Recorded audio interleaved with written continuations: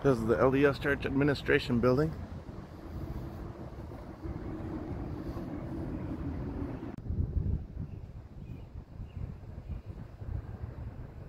Built between 1914 and 1917 to serve as headquarters for the church.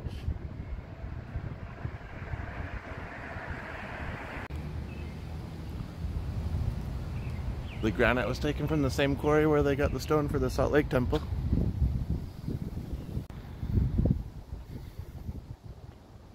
And here we have the Lion House.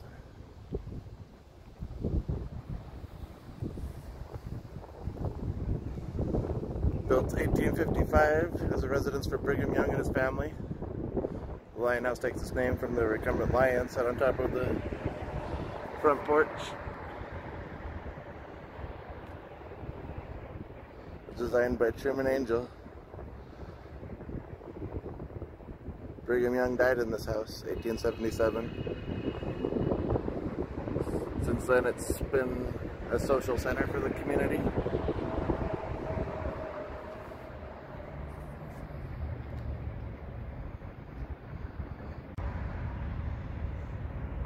This is Brigham Young's office, here between the Lion House and the Beehive House. Built in 1852 was Brigham Young's office until the church administration building right there was built. For a short time it was also the tithing office.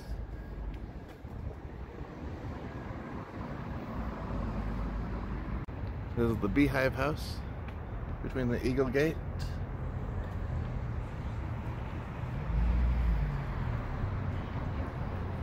and Brigham Young's office.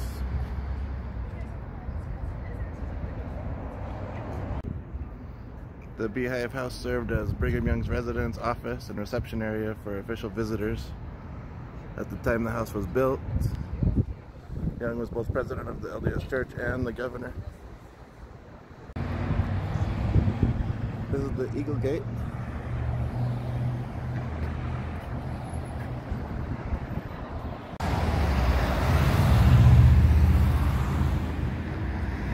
Eagle Gate marked the entrance to the homestead of Brigham Young during the early settlement of the valley. Brigham Young was allotted the land lying athwart the mouth of City Creek Canyon. His New England heritage prompted him to, to desire the privacy given by a high wall around the property as well as for the protection afforded. In 1891, the gates were removed and the entrance widened into a street at that time, the Eagle was sent east, electroplated with copper, and raised on a new support resting